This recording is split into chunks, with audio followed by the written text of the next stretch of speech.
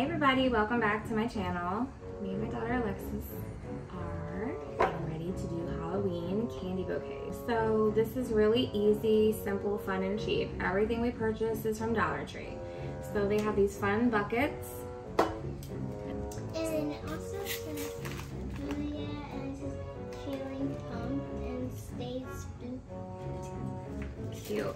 You want to go down the craft aisle and get these foam little pieces. They come like four for a dollar to put in there and that's what you're gonna use to create your candy bouquet. You wanna get about four, um, four to six bags of the little candies. I try to get the ones that have sticks, that way your sticks are even. We've got these colored sticks. Um, you can either buy these from the Dollar Tree or Walmart. And we got some of the cool spider and eyeball flowers, little witch hat, and we have this pumpkin from last year we got, and he glows in the dark.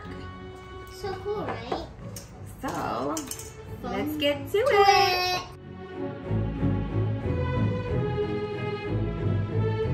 We want to make sure it's nice and tight, okay? So now, we're gonna look at it to create it, okay?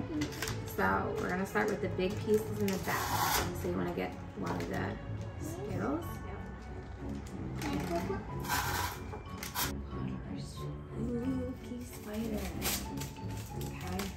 Fix his legs and put on the, put on the candy and.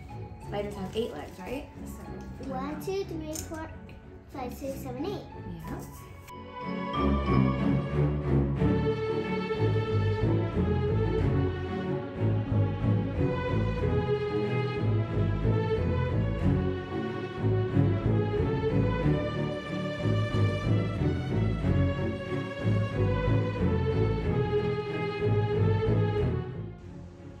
We hope you liked the video and tell us um, what you want to see next with our candy bouquets. Make sure to hit that like button and subscribe to um, our channel and turn on your notifications. Thanks for watching. Have a great day.